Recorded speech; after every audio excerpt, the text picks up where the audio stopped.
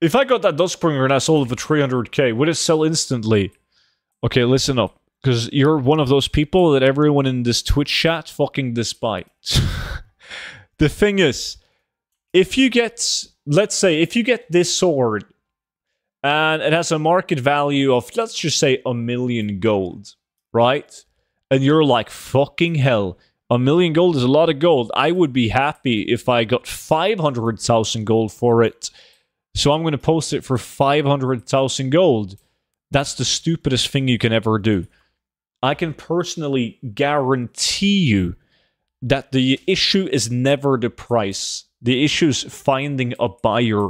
When a buyer comes along, he doesn't give a fuck if it's 500,000 gold or a million gold. He gives absolute zero fuck. He will buy it for a million gold and he will also buy it for 500k. Don't give a fuck. People got a lot of gold.